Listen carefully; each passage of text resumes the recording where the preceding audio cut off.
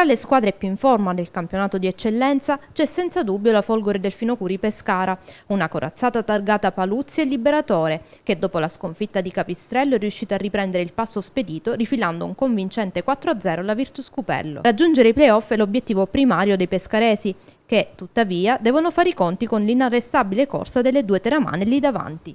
Sì, tantissima. Eh, era la risposta che volevamo e i ragazzi ce l'hanno dato sul campo e siamo contentissimi di questo e speriamo di dare continuità finalmente a questi risultati. Già da domenica a Castelnuovo cercheremo di fare un'ottima partita eh, perché vogliamo fare i playoff, ecco.